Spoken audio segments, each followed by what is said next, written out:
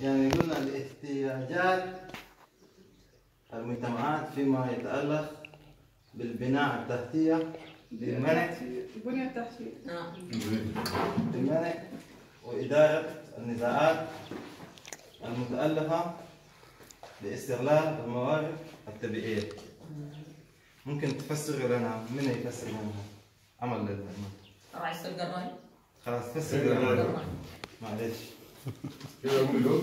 وحلوك عندنا القرية نوع من الإغراء وصف للتوترات النزاعات الع- العادية المتألفة بغياب الإدراك من عدد القرية القرى.